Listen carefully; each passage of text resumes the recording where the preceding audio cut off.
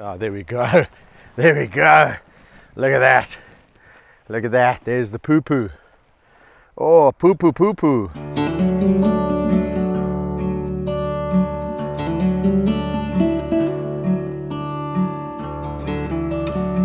Hey, good morning, everybody. Um, busy driving on uh, my highway to work. This is the highway I take in every morning. It's uh, a dirt road, pretty decent condition, slightly corrugated. Um, I must say the the G-Class makes uh, smooth work of that. Today we're going to be uh, meeting some more characters at the sanctuary. Um, it's uh, quite a, it's going to be quite an interesting one. It's uh, a bigger group of lions, six in total, known as Thor's group. Uh, consists of uh, Thor, Charlie, Jubari, Ndira, Lola, and Neige. Um, and many of you will actually know that this group um, was vital in making Mia and the White Lion, the feature film that I worked on, a reality. And look at that, as I drive in, yeah, some elephants to greet me.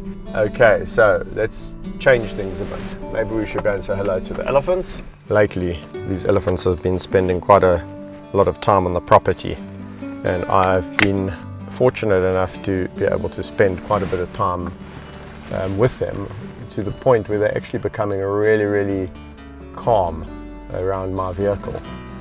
Um, obviously, they've got good taste. hey guys! And look at that. Look at that, they're coming. Hey guys! They just want to come up and inspect, see who it is. And there he comes across the road. What a way to come to work, eh? There, there's the one with the trunk. Look there. Missing the tip of the trunk. This is the cheeky boy. Look, cheeky boy.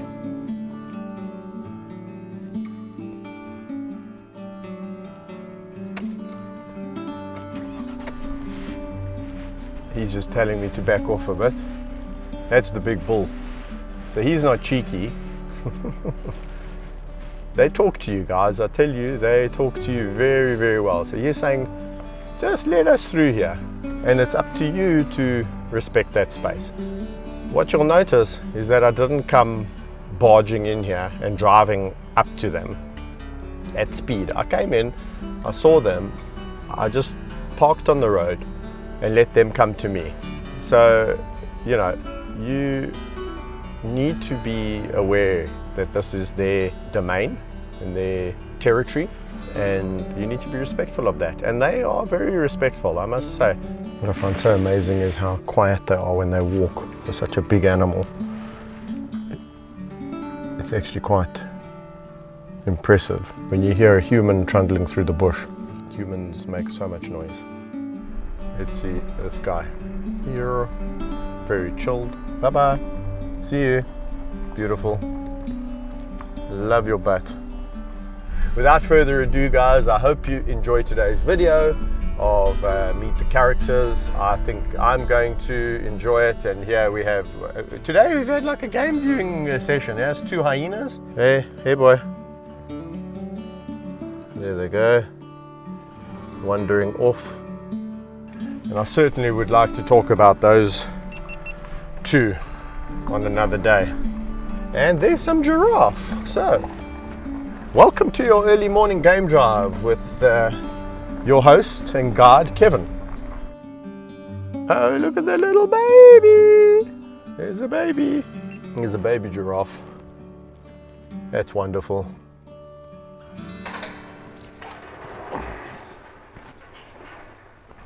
Meet the characters. Thor, Charlie, Neige, Jubari, Lola and Ndira. Hey guys. Oh, my girl.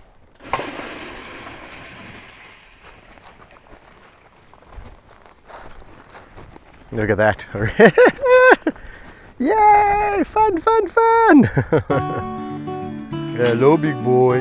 Hello, my boy. Come, Neji Peji. On a, a walk, they are entitled to do what they want. There's no prescribed way that they need to walk or behave or go. they're new to this area, so this is going to be really exciting for them. All right, so I'm going to hang with uh, the first three here. Almost seems like separation of colors, but uh, it isn't. They are a tight knit group, I'll assure you. Here comes Charlie Brown wanting to know why is everyone going this way. Neji peji peji. Charlie's gonna ride around in some droppings. Mm-mm. Jibs has found a tree. Uh, she really does like to tree climb. I'm not sure if she's found a tree to hide behind so she can give Thor a fright.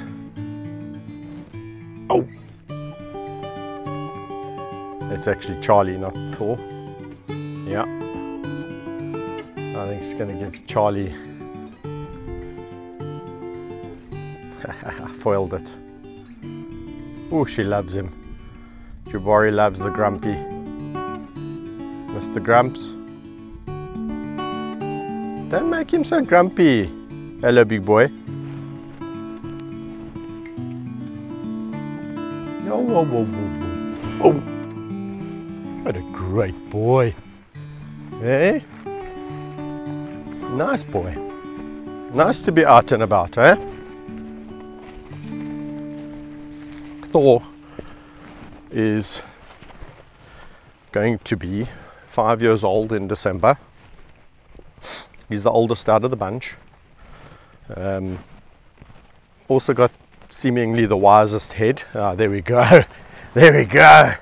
Look at that. Look at that. There's the poo poo. Oh, poo poo poo poo. Man, you can't get that kind of poo poo in the enclosure. Talk about getting it all over yourself. The smell of that is quite intoxicating. And I can understand why why he likes it. It actually is, you'd expect it to be an, an, an offensive smell, but it's not. Uh, buck poop is pretty, is pretty cool. Should we catch up? No. Thor is the wise one, I would say, without anthropomorphizing lines. He seems to have a level head on his shoulders. He's not really quick to anger. He's quite even tempered, really keen to try anything. Going to see new areas or just driving in the car, Thor loves it. Okay, so here we are. This is the dam, some water there.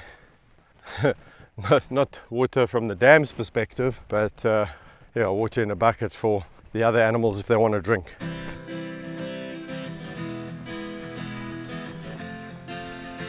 That, guys, is what I'm talking about. You cannot mimic that kind of excitement in an area that they're familiar with. It's as simple as that. They do not expend this kind of energy. And the problem with living in a cage all your life is it's like living in a cell, a jail cell. You cannot put a treadmill in the lion enclosure and make the lions walk on the treadmill. You cannot mimic this behavior four lionesses in a row walking and then intermittently four lionesses in a row playing while the two lazy boys bring up the rear.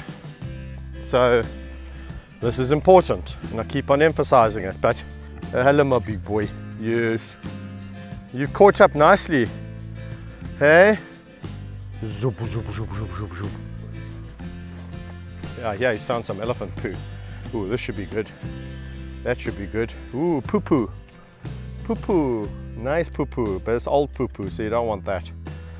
The moment you take a lion um, and you breed it in captivity and you um,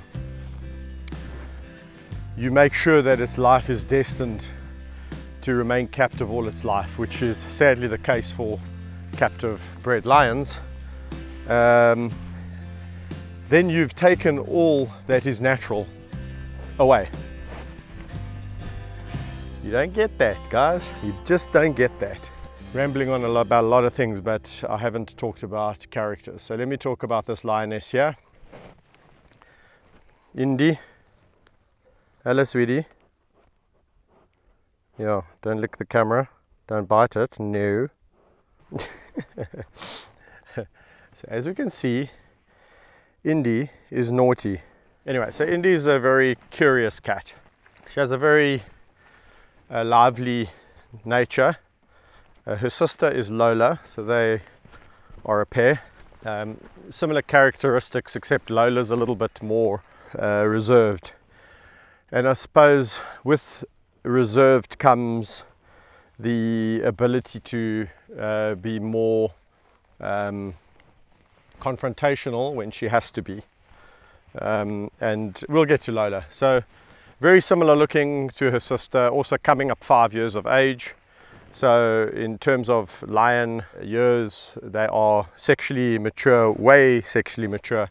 In the wild, they would definitely have um, sired uh, not sired, they would have had their first uh, litter um, of, of cubs and uh, at least, and they would be part of a healthy pride. I know for a fact this lion needs mental stimulation. She's not the one to sit around. Slightly, uh, slightly ectomorphic in in in in, uh, in stature, a little bit lankier and leaner, not thick set and stocky. Extremely curious about things and and scent driven you can smell you can see she's she's after the smell here she's not a dominant lion at all. So if you look at how she fits in into the the group she's certainly not the highest um, in terms of rank. You'll hear a lot of people talk about including myself that lions don't have any strict social structure. Um, they're more egalitarian. But uh, with that said lions definitely have dominance. Certain things will trigger certain behaviors